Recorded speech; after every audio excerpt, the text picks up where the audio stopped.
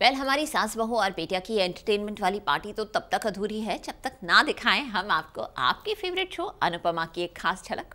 तो क्या कुछ हो रहा है आज अनुपमा की कहानी में? वेल जो भी हो रहा हो आई एम श्योर एंटरटेनमेंट तो पक्का है है ना? इस तरह पार्टी में तमाशा क्यों हो रहा है? कौन है आप लोग? बापू जी। अनुपमा ने पढ़ाया संस्कारों का पाठ। ये मेरा मायका है। बरखा भाभी की लग गई क्लास। मेरा परिवार। गृह प्रवेश में ये कैसा कलेश? जी हाँ स्टार प्लस के सीरियल अनुपमा में। आज अनुपमा और अनुज के नए घर का गृह प्रवेश है और घर में रखी गई है पार्टी लेकिन बड़े लोगों की इस पार्टी में गेस्ट लिस्ट भी है। इसका मतलब साफ़ साफ़ ये हुआ कि जो मेहमान इस लिस्ट में शुमार हैं, बस वो ही इस पार्टी में शामिल हो सकते हैं। बाकी किसी की कोई एंट्री नहीं होगी।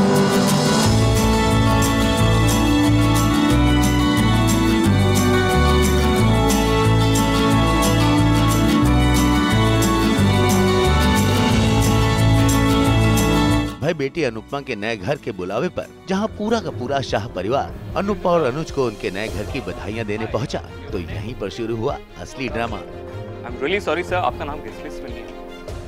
ए, शायद मेरा नाम होगा। Okay sir okay okay mister Hasmukh Shah really sorry sir आपका नाम भी गेस्ट लिस्ट में नहीं है?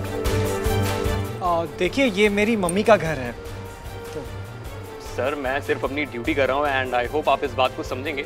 आप आप सब प्लीज़ साइड आ जाइए।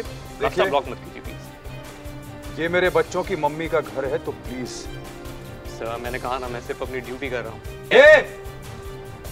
अकल से पैदल हो क्या? तुम्हें क्या लगता है ये मेरा पूरा परिवार मेरे बाप बापूजी मेरे बच्चे यहाँ बिना इनविटेशन क्या है?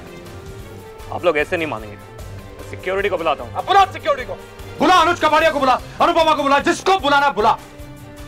लोग भी तो देखें कि एक बेटी बड़े घर में शादी करने के बाद कैसे अपने बाप को भूल जाती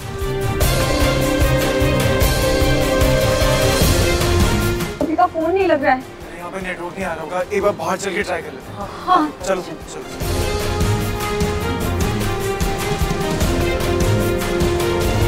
अरे आप लोग समझ क्यों नहीं रहे? अंदर बड़े लोगों की पार्टी चल रही है। तो यहाँ जो खड़े हैं वो भी कोई छोटे लोग नहीं है। जिन लोगों की पार्टी चल रही है ना अंदर उन्होंने हमें हाथ जोड़ जोड़ के बुलाया यहाँ पे। What the hell is going on?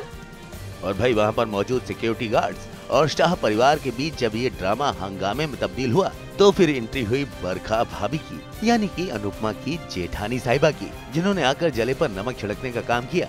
इस तरह पार्टी में तमाशा क्यों बना रहे हो? My God who the hell are these guys कौन है आप लोग? हम परिवार वाले हैं। वो अनु देखिए सर बिना बात के रिश्ता मत बनाइए। इनका नाम है गेस्ट लिस्ट में? नहीं मैम मुझे पता है यहाँ क्या होता है। रिश्तेदार बनकर लोग बड़ी बड़ी पार्टीज़ में आते हैं और उन्हें लगता है किसी को पता नहीं लगेगा। कम से कम अपनी उम्र का लिहाज किया होता। लिहाज ही तो कर रहे हैं मैडम।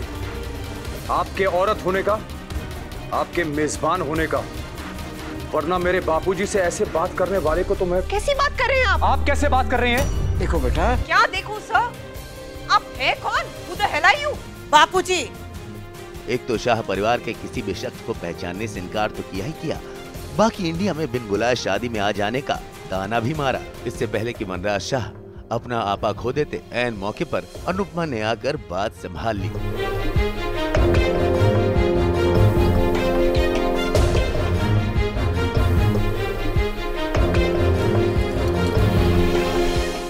ये मेरे बापूजी है।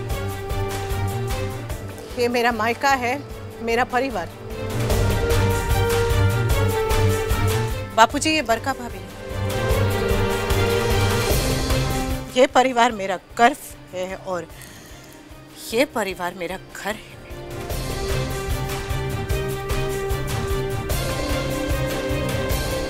एम सो सॉरी मुझे कोई आइडिया नहीं था कि आप लोग कौन हैं।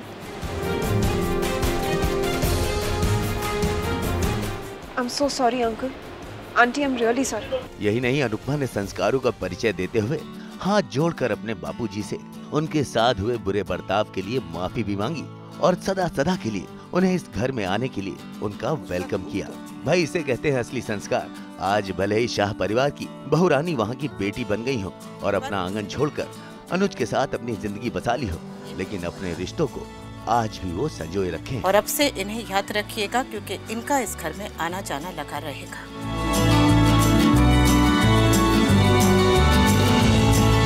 माता पिता को अगर दरवाजे पे दो बार घंटी बजानी पड़े तो ऐसा लगता है कि कुछ गलत हो गया। यहाँ तो मेरे माता पिता को दरवाजे पे रोका गया। Sorry sorry sorry Bapu ji माफ़ कर दीजिए। मुझे यहाँ दरवाजे पे होना चाहिए था आपके लिए। मुझे होना चाहिए। पहली और आखिरी गलती है बापू जी ये सब फिर कभी नहीं होगा। अब से ये दरवाजे आपकी आहट भर से खुल जाएँगे। है ना भाभी?